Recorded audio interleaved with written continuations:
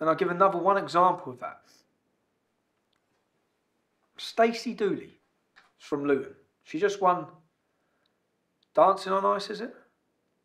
I grew up with Stacey. Stacey come back to Luton to do a documentary. Many of you would have seen it.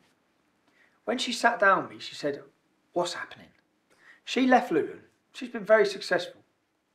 Well done to her.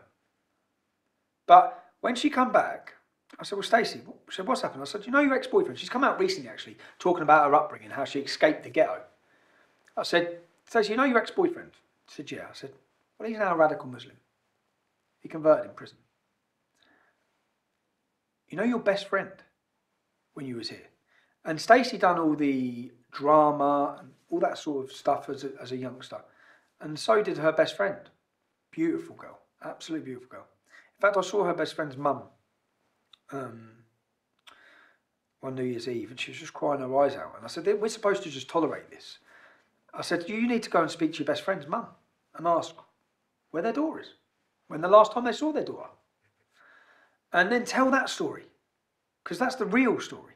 The real story of girls within our community being taken from their families, groomed, prostituted, beaten, raped, and meanwhile, and you know what? And I spoke about this for years, and you know what's just happened in the last four months, which hasn't hit any publicity yet?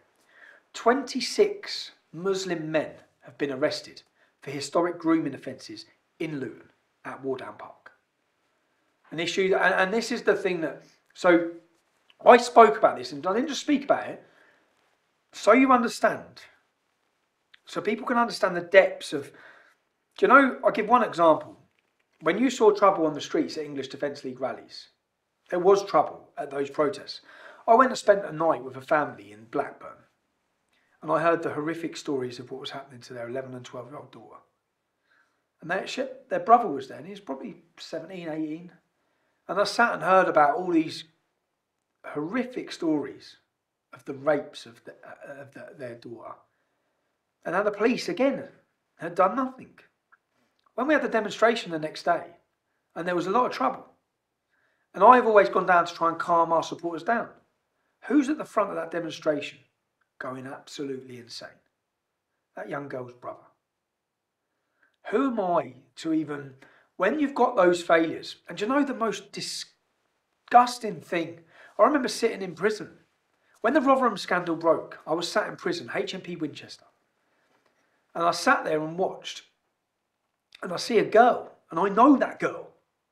And she went to Rotherham to protest outside Shaun Wright, who was in charge of the police there because he was refusing to resign.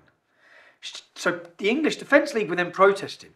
And I looked and I saw a girl, and she's from Birmingham, and I know her. And I know what's happened to her growing up. I know her history. She's a complete victim of gangs of men who have abused and raped her and tortured her. And then I watched as the snotty nosed journalist looked down his nose upon her and labelled her as a far right protester and an extremist. She's not an extremist, she's a victim. So I know I, I, get so, when you've met the families I've met and heard the stories I've heard, another one, a young girl from Blackpool, and her father and do you know what? It's actually got a quite a nice ending, this one. Her father, I went to meet with him. His daughter's gone. They've took his daughter. Took her from, and once the girl gets 16, 17, once they get to 16, 17, the police aren't interested. They're not helping. They're still victims. They've been groomed. They take, when your family kick up too much of a fuss, this is just simple process that they do in every town. They move her. So she'll be taken from Blackpool. She'll was taken to Oldham. She's then in Oldham. The Muslim man that used to rape that girl would ring the girl's dad and leave the phone on the side.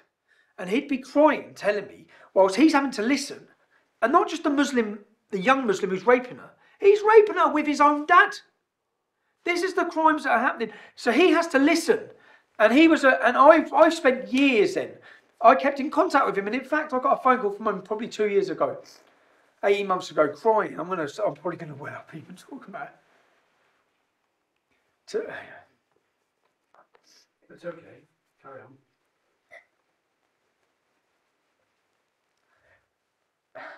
Johnson water. No, to say that his daughter was home. that his daughter would come back.